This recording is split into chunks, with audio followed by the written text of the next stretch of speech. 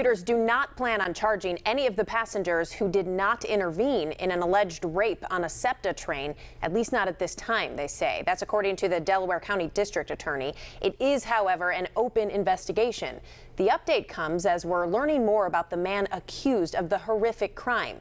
Court documents say 35 year old Fiston Ngoy, who was arrested last week, is a Congolese national who came to the U.S. legally in 2012 on a student visa.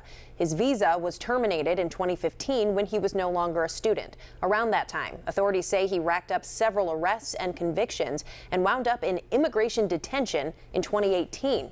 He was never deported because a judge did not find his crimes at that time serious enough.